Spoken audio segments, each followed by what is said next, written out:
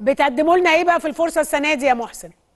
بص إحنا السنة دي داخلين آه، يعني إحنا طبعا بنك التعاون المصري برضه السنة دي عن السنة اللي فاتت إحنا أنظمتنا تطورت آه، يعني بشكل مضطرد ونطاقنا الجغرافي برضه اتطور جدا. أنا متوقع إن إحنا السنة دي ممكن يبقى فيه شراكات آه، يعني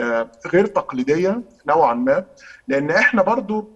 الطريقة اللي إحنا بنوصل بيها للناس انت عارف إحنا بنخدم مئات الآلاف من المصريين كل يوم يعني في أكتر يعني في حوالي 3000 قرية في مصر في 27 محافظة. الطريقة اللي إحنا بنخدم بيها الناس دي فيها جزء كبير جدا إن إحنا نقدر نحسن كفاءتها ونقدر نوصل للناس أسرع ونقدر نوصل للناس آه، بشكل نقدر نحدد الاحتياج بشكل أدق ونقدر نوصل للناس بشكل أرخص. فأنا متأكد إن التكنولوجي ممكن تلعب دور كبير جدا إنها تحسن آه، فعاليتنا وكفاءتنا وبالتالي إنها فعلا زي ما أنا يعني على طول بقول للناس اللي معايا في بنك الطعام كل يوم لازم نشوف إزاي نقدر نحسن صرف أموال الذكاء اللي إحنا مؤتمنين عليه.